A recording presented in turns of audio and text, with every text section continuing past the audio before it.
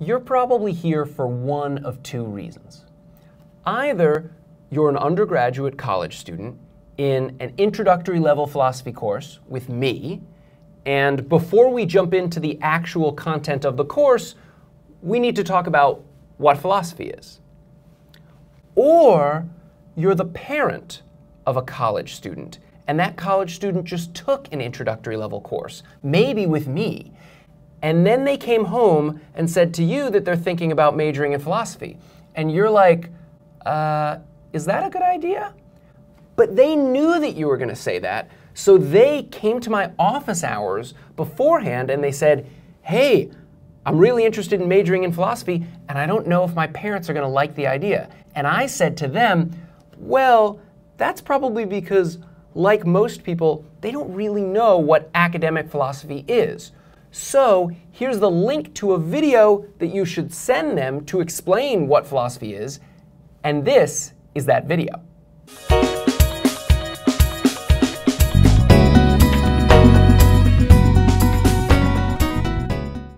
Before we start, we need to address the fact that philosophy is a word in the English language that people use in all sorts of weird ways.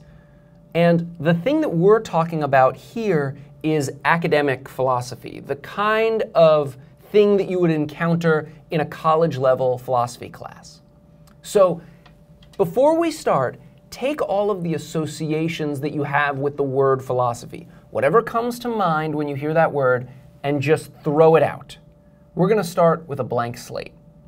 Any time that a college philosophy professor tells you that he or she is going to explain what philosophy is, the next thing that happens is they tell you about the etymology of the word. The word philosophy comes from Greek, it comes from two words. The first word is philia, which is one of the Greek words for love.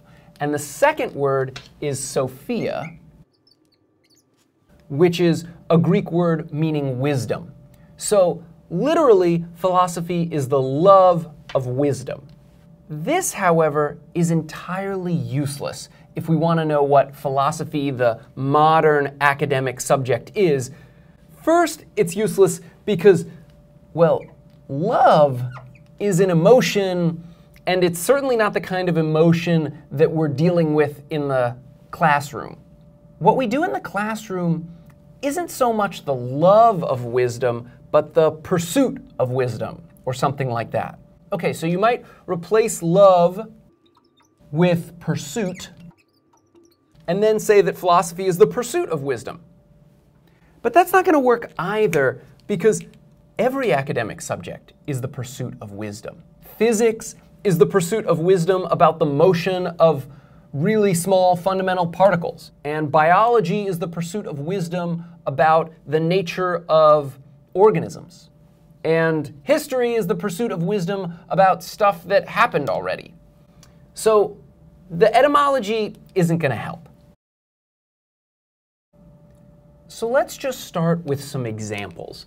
Examples of the kinds of questions that philosophers talk about. Here's one Does God exist? You know God, all knowing, all powerful, perfectly benevolent creature that created the entire universe in which we live, or so they say, right? The question is is there a creature like that? Or another question how do I know I'm not dreaming right now? You know, dreams. Dreams are like when you're on a pirate ship, but it's also a dragon, and then later that other dragon is now your grandma, but it didn't like turn into your grandma, it just now is your grandma. That's a dream. And when you're dreaming, you think you're living. And so the question is well, how do I know that I'm not dreaming right now? How do I know that all of my experiences aren't fictional in some way? Do I have free will? Which actions are morally good and which actions are morally bad? What is the just way to arrange society? Is that how you spell arrange? I don't know. And When I say just, I mean fair. Right? What is the fair way to arrange society? Does life have a meaning or a purpose? Do I have a soul that lives on after my bodily death? Okay, so these are some philosophical questions. And these questions, or questions like these, occur to lots of people. They occur to children, they occur to stoners. Here's the thing about children questions like this very often occur to children, and children are interested in them. And then children stop thinking about them. What happens? Well, here's what doesn't happen. It's not like these children continue to think about these questions and they come to well supported, reasoned, rational answers to these questions and then they move on. That's not what happens.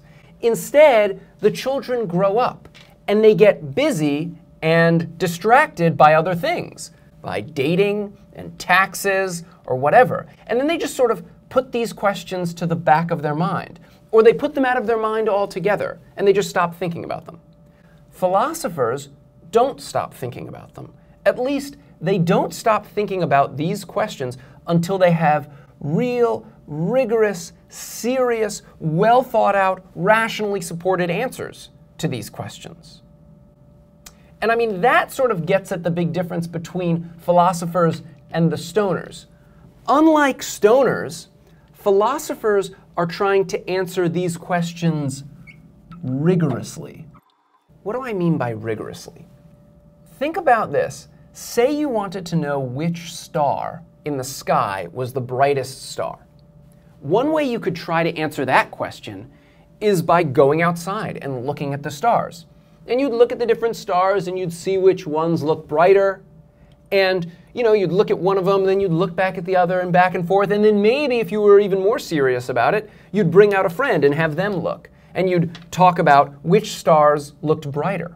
But an astronomer that wants to know which star is the brightest star, they use all sorts of careful, precise brightness measuring devices. And they monitor every star on multiple nights, just in case there's a very faint cloud that's slightly blocking one of the stars, making it seem dimmer than it really is. And then when they get really serious about it, the astronomers launch a satellite into space to look at the stars and how bright they are from outside of the clouds, right outside of the Earth's atmosphere. The astronomers are trying to answer these questions rigorously, seriously. That's what philosophers are doing with these questions they're not just idly thinking about them, they're taking them extremely seriously and trying to answer them rationally. There's also another group of people who think about questions like these, and those are priests or religious leaders, religious people. These are religion questions, at least some of them are. So you might be wondering what's the difference between a religious leader who also thinks about these questions, and a, an academic philosopher? Well, there are two differences that I can think of. One of the differences is that religious leaders attempt to answer at least some of these questions via revelation. Revelation is when someone tells you the answer. So, take for example, which actions are morally good or bad? One way to get the answer to that question is for someone who already knows the answer to just reveal it to you, to just tell you the answer. That is at least a primary method for answering that question uh, for religious leaders. Philosophers, by contrast, they the only tool that they have is reason, is just thinking very, very clearly about all of the surrounding issues and answering this question rationally, just with their brains, not by having the answer revealed to them by someone else. Now, I should mention that a lot of famous religious leaders or religious people have also been philosophers.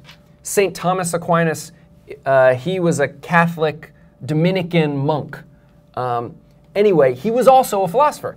He believed that the revealed truths in the Bible were indeed truths, but he also attempted to use arguments and reason to answer questions like these. He famously gave several arguments attempting to prove the existence of God. And if you're watching this video because you're in a course with me, depending on what course it is, we may talk about several of those arguments. The other difference between religious leaders and philosophers is that religious leaders have a predetermined answer to several of these questions, whereas philosophers don't. You could go either way on any of these questions and still be a philosopher if you're trying to answer that question seriously and rigorously. If you conclude that God exists based on some serious, rigorous arguments, then you're doing philosophy. And if you conclude that God doesn't exist based on some serious, rigorous arguments, then you're doing philosophy. But if you give certain answers to certain questions here, then you stop being a priest or a religious person anymore. Okay, so when I was an undergraduate, all I got were examples. That is, if you want to know what philosophy is, then one way is to just give a list of philosophical questions and say that philosophy is the enterprise of rigorously, seriously, rationally answering those questions. And that's all I got as an undergraduate. But there is something better we could maybe get an explanation of why these questions are philosophical questions. And that's what I want to try to do right now. Okay, so look at this list of questions. What do they all have in common that makes them philosophical questions? When I ask that to a group of college students, one of the first answers that I always get is something like this all of these questions are in some sense subjective. And what that usually means is something like there's no right answer that's right for everyone, everywhere. Everyone has their own answer, and everyone is right when they answer the question the way they feel they should answer it. Something like that. Now, there are some questions that are genuinely subjective. Like, take the question Are pickles tasty. It seems to me like the tastiness or not tastiness of pickles is a subjective matter. Some people like pickles. They say pickles are tasty. Other people don't like pickles. They say pickles are disgusting. Everyone's right. When the pickle lovers say that pickles are great, they're right. And when the pickle haters say that pickles are terrible, they're right too. Everybody's right because matters of taste are subjective. So, is the subjectivity of these questions the thing that makes them philosophical? No, it can't be because it seems to me that none of these questions are subjective. Not one of them. Look at them. We've already been talking about does God exist? That's just a question about whether something exists. Say you want to know whether Bigfoot exists. Well, that's a creature, a kind of being. Is there such a thing? Either there is or there isn't. Some people think that Bigfoot exists, some people think not. Well, one of those groups is wrong. There either is or isn't a creature like that. And the same is true for whether or not God exists. Either this creature, this being, this entity exists or not. It's not a subjective matter, it's, it's an objective matter. Or, for example, do I have a soul that lives on after my bodily death? That's just a question about what's going to happen in the future, what kind of creature you are, and what's going to happen when your body dies. Look, your body is either going to die and you're going to cease to exist, or your body is going to die and you're going to keep living somewhere else. It's an objective matter. One of those two things is going to happen. It's not like the answer is different for different people based on their opinion. The other thing I want to mention is that we shouldn't think that because there is disagreement about some matter or the answer to some question, that therefore the question is subjective. There's disagreement about whether the earth is round or flat. I mean, there are very few people who think it's flat, and they have all sorts of kooky theories and bad arguments, and they're wrong.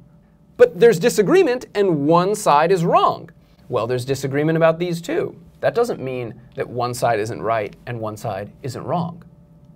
Okay, here's another answer that I often get when I ask students, what do all these questions have in common that makes them philosophical questions? I'm often told that these questions are deep. They're deep, big, important questions. I don't think that that's going to help us identify what philosophy is either, because there are lots of big, important, deep questions that aren't philosophical, that aren't studied by academic philosophers who have jobs at colleges and universities. Like, here's an example Will the universe keep expanding forever? You know that the universe is expanding? All of the galaxies are moving farther and farther apart from each other. And not only that, but the expansion is accelerating. That is, they're more quickly moving apart from one another than they were, well, any, at any time in the past. So the universe is expanding. Is it going to keep expanding forever? Whew. That's a deep question or a big, important, fundamental question. But it's not a philosophical question. It's not the kind of question that philosophers answer or attempt to answer in the philosophy classroom.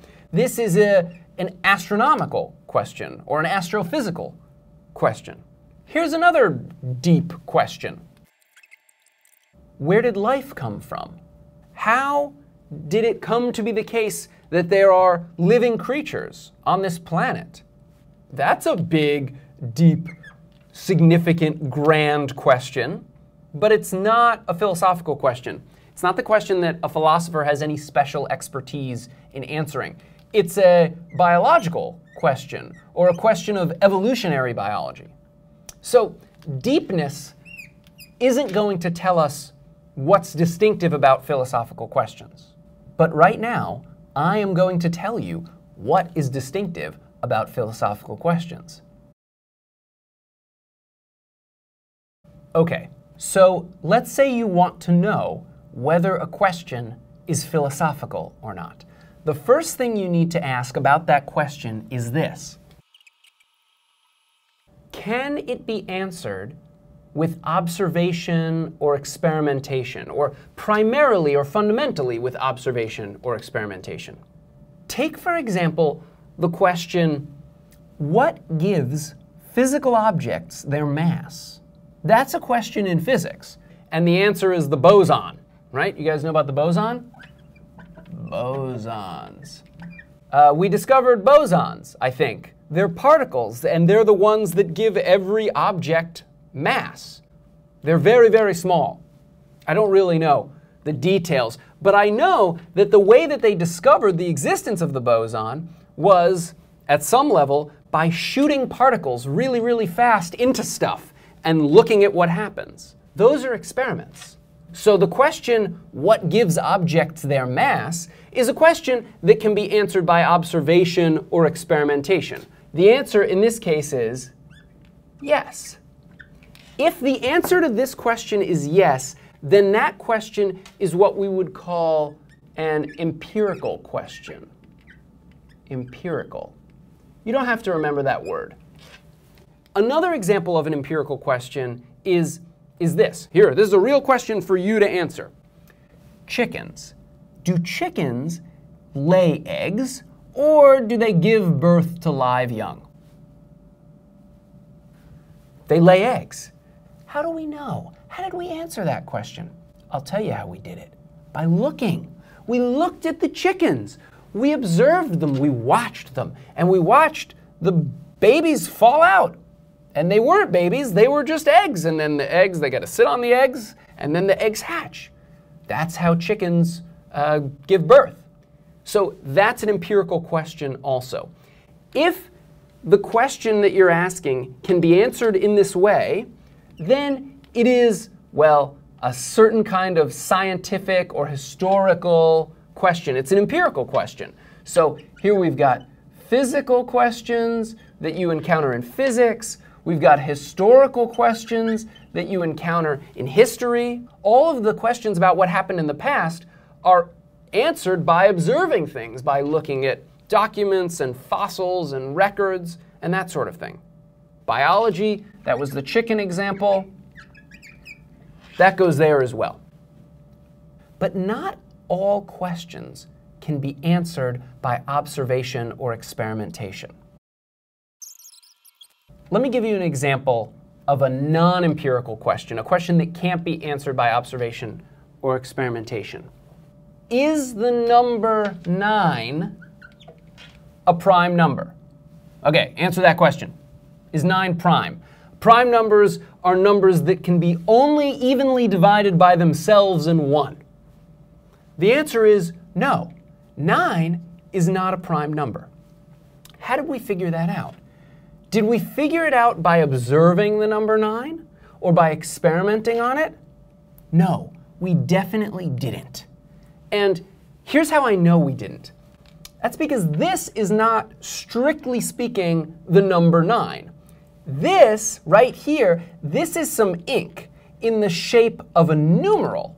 A numeral is a symbol that represents the number itself. And then there's another numeral for 9. Here's another one you may have seen. It looks uh, like this, right? That's the Roman numeral, and this is the Arabic numeral. These are different ways of writing the same thing, and that thing that these different symbols represent is the number 9. The question, is 9 a prime number, is not a question about this symbol. We don't answer that question by like chopping up the symbol into three parts and seeing if we can evenly chop it up into three parts. That's not the question. We weren't interested in dividing the symbol, the numeral we were interested in dividing the number. And, well, the number nine, you've never seen it. So you couldn't have possibly observed it. And you can't capture it and shoot it out of a, a particle accelerator or trap it in a cage and make it go through a maze like a mouse or something. You can't run experiments on the number nine because the number nine isn't the kind of thing that you can look at or grab. So, however it is that we discovered the fact, and it's a real fact, we didn't just make this up, it's a real fact, the number 9 is not prime. However, we discovered that fact, it wasn't by observation or experimentation. Let me make this point again, but not with numbers. Let's go with this. Okay, now be your most pedantic, be your most literal when you're answering this question that I'm about to ask. What is that? Okay, it's not a triangle. This is just some ink on a piece of glass. It's like a special piece of glass, but this is just some ink on a piece of glass. A triangle is a two dimensional, three sided polygon. And, well, as a two dimensional object, you know it doesn't exist. There are no triangles. Not in our world, not in our universe, because everything in our universe is three dimensional. Look around. Where are you? Are you sitting in your aunt's house right now? Look at everything. There's a lamp, three dimensions. There's a tree outside, made of three dimensions. You, your face, three dimensional. It's got a height and a width and a depth. Everything you've ever seen in your whole life has had three dimensions. You've never seen a triangle because triangles don't exist, or they don't exist in our world, there aren't any around. This is a bunch of ink, and the ink is made of molecules, and those molecules, although they're very small, are three dimensional, right? There is some depth here. This is just a drawing that represents a triangle. And when we ask a question about a triangle, like, what is the sum of the interior angles? of a triangle. When we ask a question like that, we're not asking a question about this drawing. We're asking a question about a triangle, a real triangle. And how do we figure that out? Well, I'll tell you how we figure it out.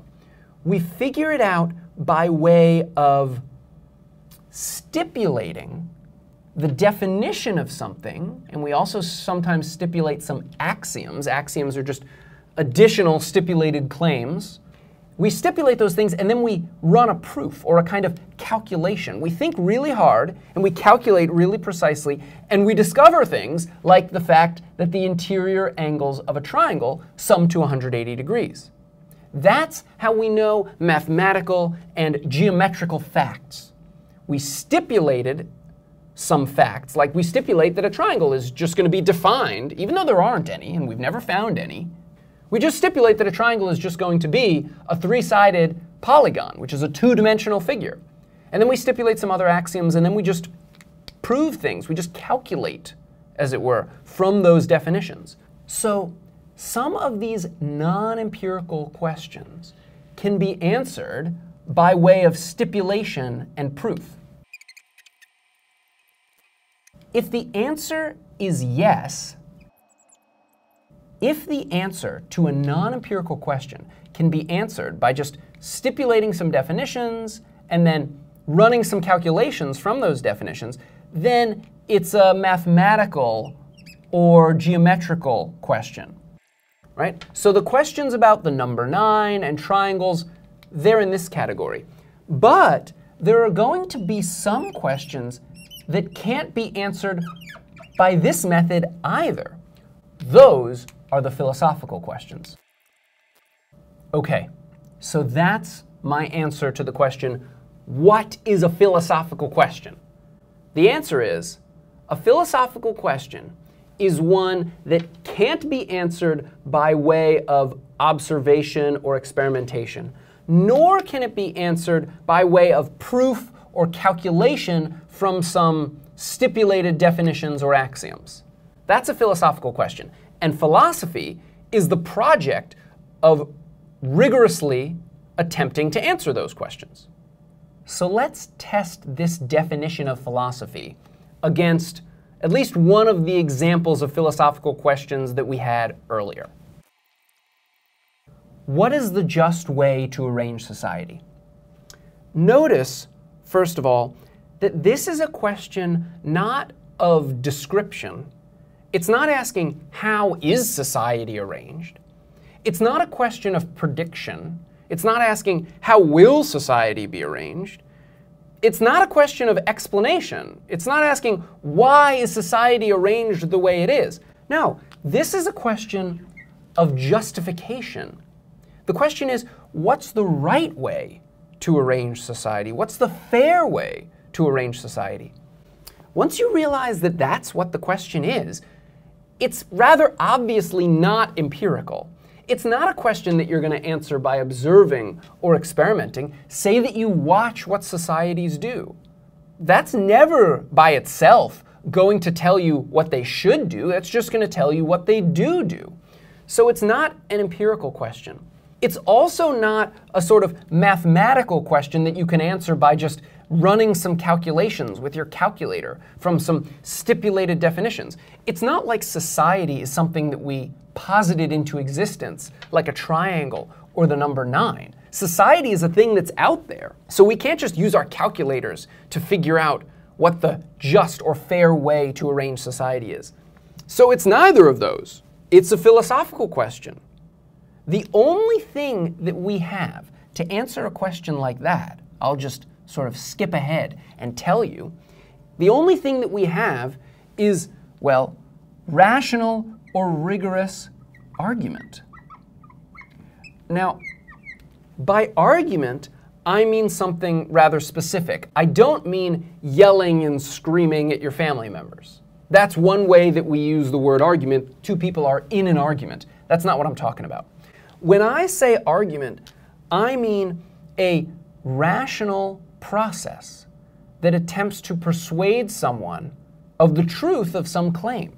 Right? An argument is a series of, of logical steps that leads to a conclusion, and then that conclusion is supposed to be demonstrated rationally to be true by the argument. That's the only tool that philosophers have. They don't have observation or experimentation, they don't have calculators or proofs that they can use to answer the questions that they're interested in. The only thing they've got are arguments. All they have are words and clear thoughts. That's the only thing that they can use to try to answer these questions. And this fact, this fact that philosophers only have arguments, it's going to lead to two very important facts about philosophy. But we're going to get to those a little bit later. Before we get to them, let me just consider two sort of objections that you might have to the practice of philosophy based on the definition that I just gave. The first objection that one often hears to philosophy, academic philosophy understood in this way, is this anything goes. It seems like if we're not answering these questions with observation that anyone can engage in, anyone can look at the objects that we're trying to study, or run some experiments, anyone can reproduce an experiment. If we're not answering these questions by observation or experimentation, and if we're not answering them by calculating or proving things from stipulated definitions and axioms, well, then anything goes. Anybody can just say anything, and they're just as right as anyone else. That's the first objection. But anything doesn't go because there are things that philosophers use to answer philosophical questions. I just mentioned them. They're arguments. And some arguments are better than other arguments. Here's an example of an argument, real quick. This is an argument, this is a famous old argument against the existence of God, right? So St. Thomas Aquinas offered some arguments in favor of the existence of God. Here's an argument against the existence of God. The argument starts from the fact that evil exists in the world. Bad things exist. Hurricanes, typhoons, genocide, slavery. Take that fact. Also, define God as a creature that knows everything, can do anything, and wants to do all the best stuff, always.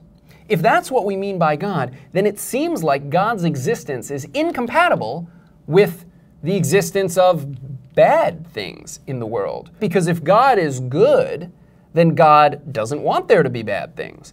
And if God is all knowing, then God knows where all the bad stuff is. And if God is all powerful and knows where all the bad stuff is and wants there to be no bad stuff, then, well, God can just go and get rid of it. But since that bad stuff still exists, since evil still exists, there can't be a creature like that. There can't be an all knowing, all powerful, all good creature. Okay, that's an argument. That's just an example. If you take a whole philosophy course, you're going to talk about arguments like that.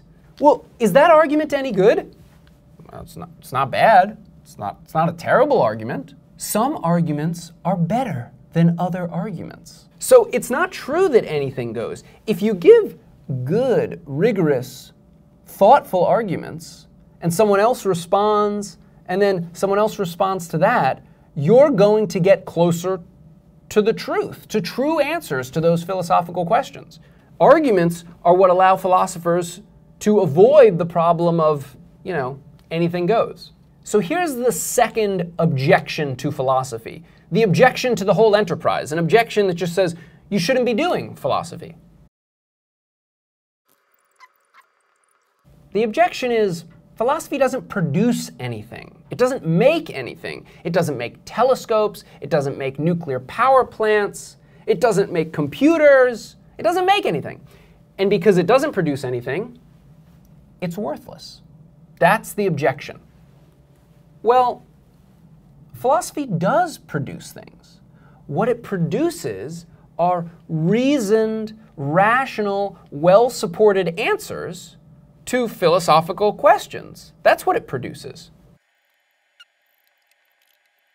It produces reasoned answers to philosophical questions. So it's just not true that philosophy doesn't produce anything.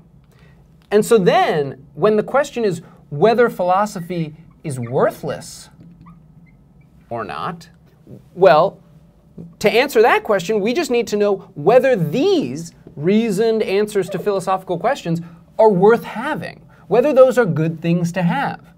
Think about one of the questions that we haven't talked about, but that we put on the board earlier. The question is Do I have an immortal soul? Do I have a soul that continues to live on after my bodily death? Is this question worth answering well?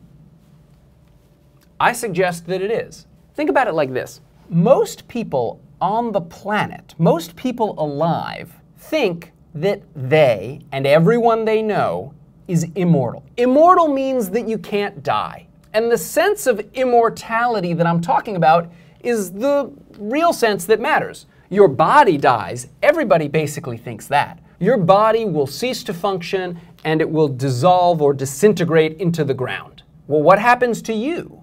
Does your mind, do your thoughts and consciousness live on? If you're religious, and most people on the planet are, then chances are you think that you have a soul.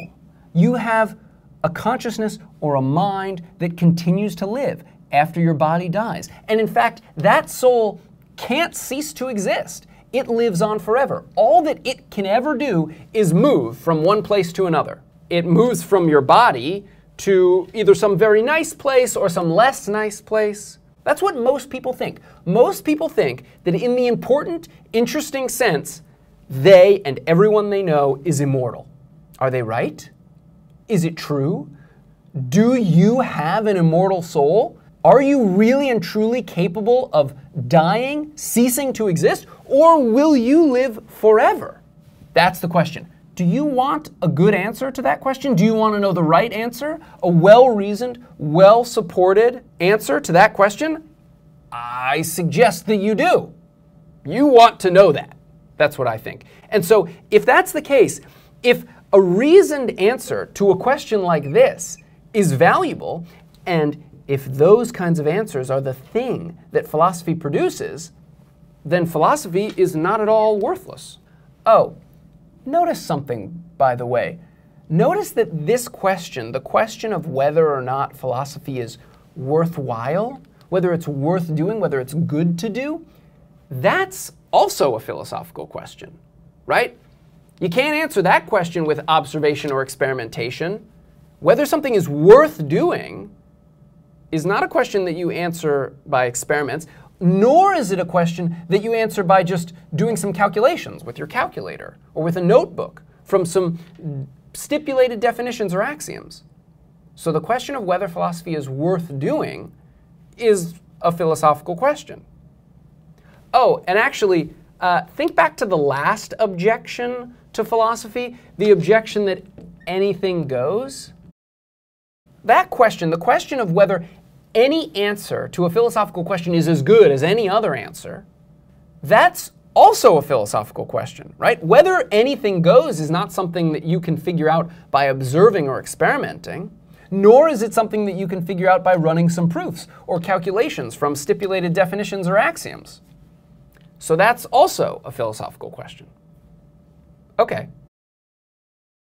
Okay, so you remember just like a couple minutes ago, I said that the only tool that philosophers have to answer philosophical questions is thinking and argumentation. Arguments are all that philosophers have. And I said that this fact about philosophy is going to have two, at least two, significant consequences.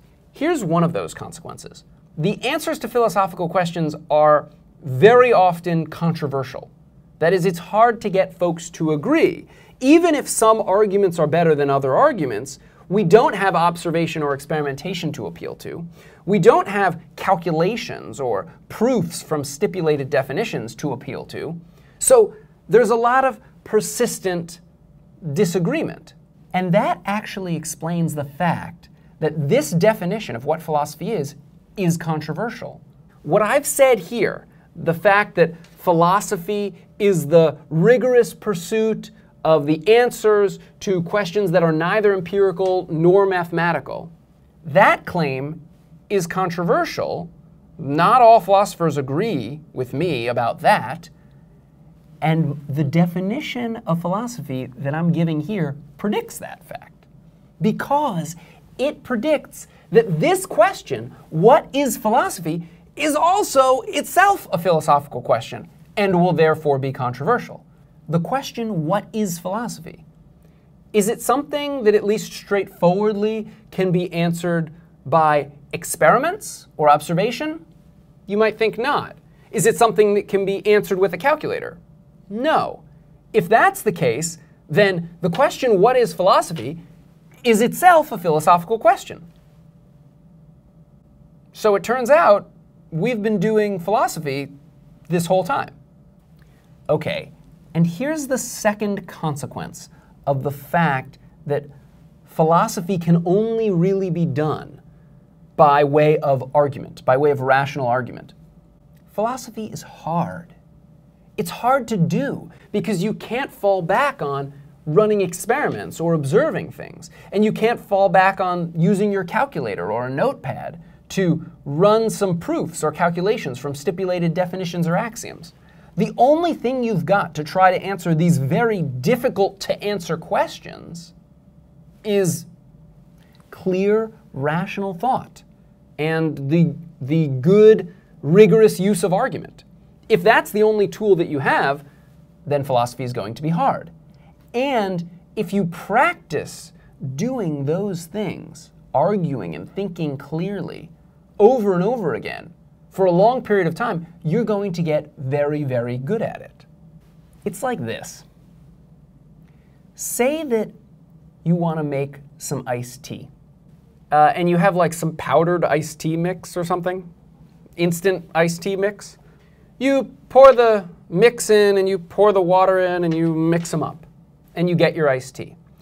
If a chemist wants to make a new solution, a compound or something like that, they will do similar sorts of things. They'll use tools similar to the tools that you use when you're making iced tea. They'll use like some glass containers and like some kind of mixing utensil. They'll use tools like that. They'll just use much more sophisticated ones, and they'll use them much, much more carefully. They will measure the ingredients much more precisely than you will. And if you're a chemist and you use these tools over and over again, you'll get very good at using them. That's sort of like what philosophers are doing. Philosophers are using tools that you use in your ordinary life. They're using words and arguments they're making claims and counterclaims. Those are things that you do in your everyday life, except for you do them in a sort of casual way, the way that you make iced tea in a sort of casual way. Philosophers are using similar tools, or the same tools sometimes, in a much more rigorous, much more precise way, the way that a chemist is using glass containers and beakers and pipettes. And Philosophers, therefore, become very, very good at using those tools because that's all they have and they use them over and over again. They get very, very good at making arguments and analyzing arguments and making very precise, very clear claims. And it's because philosophers have so much practice using the tools of rational thought and argument that philosophers end up being so smart. Or, if not smart, really good at standardized tests. Okay, this is the part of the video that is aimed in large part at the parents. Let's talk first about the GMAT. That's the standardized test, it's like the SATs, that you have to take if you want to go to business school, if you want to get like an MBA. This test tests all sorts of things, certain mathematical skills, certain reading skills. Here are the scores of students who take this business school exam based on their undergraduate majors. Okay, so philosophy is doing pretty well. I mean, it loses out to mathematics and physics, but it's pretty high up on that list. This maybe is partly due to the fact that philosophers have to learn to think really well because all they have are arguments and they're trying to answer very, very difficult questions. Now let's talk about the LSAT. That's the law school entrance exam. For law school admissions, this standardized test is a huge part. Maybe it's the biggest, most important part, or the second biggest, second most important part of law school admissions. Now we know that philosophers are going to have an advantage when it comes to this test. It's a test that is trying to get at your ability to evaluate, assess, identify arguments. That's the biggest part of it because that's what lawyers do. They argue in the courtroom, in, in briefs and memos. They present arguments for certain claims. Philosophers are doing that all the time. And that's why philosophers do really well on this standardized test. There we go. Philosophers doing the best on the LSAT. Then there's the GRE. The GRE, I think it stands for the Graduate Requisite Exam, is the sort of generic graduate school exam. You go to college, and then you want to go to graduate school, but you don't want to go to business school or law school specifically. You want to go to graduate school in history or English or biology or chemistry or physics or mathematics or any of those sort of standard um, arts and sciences subjects, you have to take the GRE. The GRE has three components or three parts. All right, the first part is the verbal part. All right, let's see how everybody does on the verbal part. Oh, that's pretty good, right?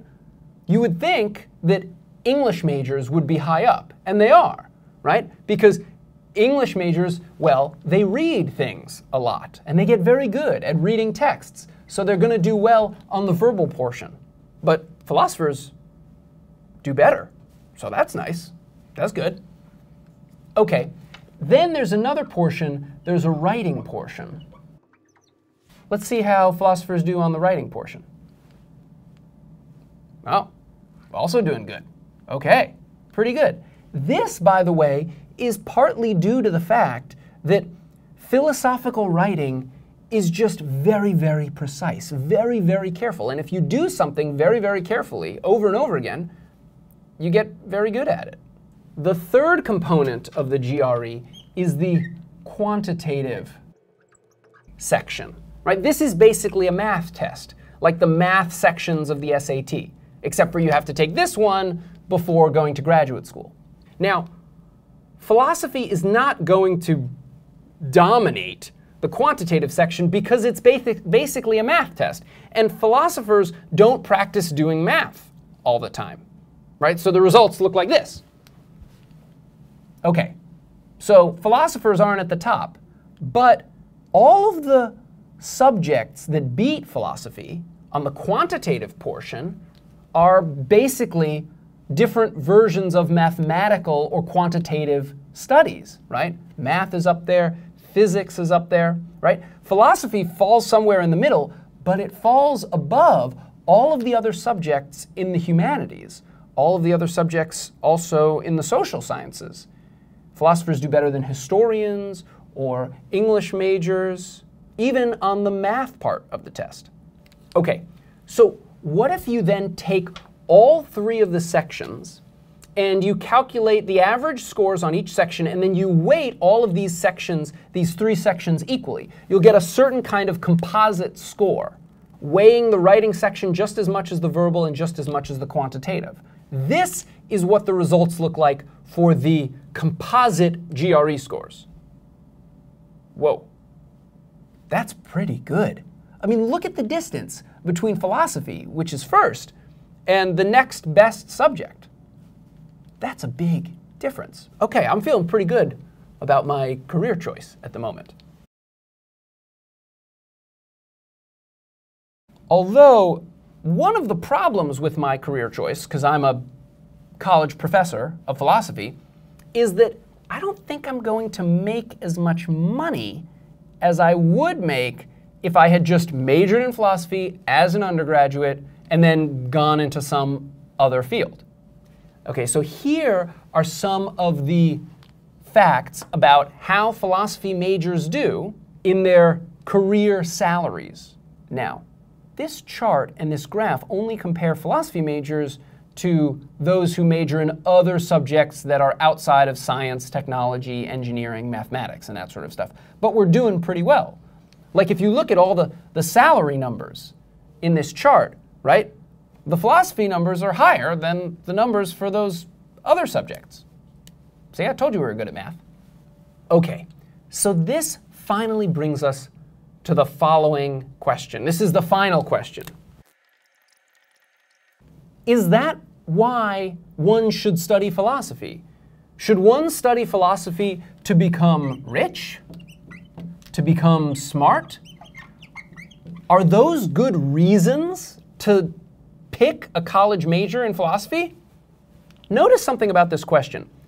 This is not a question that you can answer by observing or doing experiments, because this is a question about not what happens, but what should happen and why one should do it.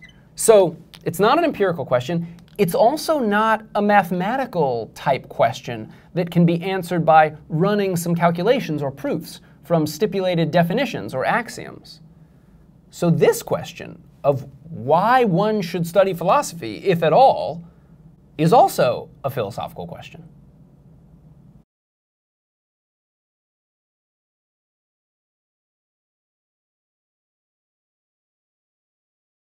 Let's just make sure I have a good marker now. A good marker now. A good marker now. Yeah. Don't include this in the video. Ba-da-da-da, ba-da-da-da.